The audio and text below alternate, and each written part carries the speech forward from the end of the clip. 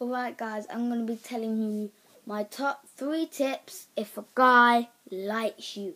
So, if any girls out there, here's a few tips. So, he might he might be like, he might be like, stay you for a bit and you turn your head like that so you can look away as I do. Tip two, he will always be around you, kind of. He will, he, he'll try to get as close as you as possible, and if it can come to physical contact, then maybe there always might. And from wars, I kind of always do that.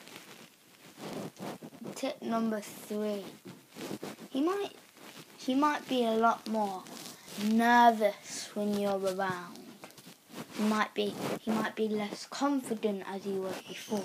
So if you're working in a group with him, you might be speaking loud before you came, but then he might say, Jaden, take it over.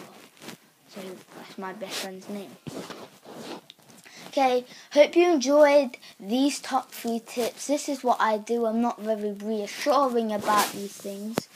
So yeah, peace out guys and love you.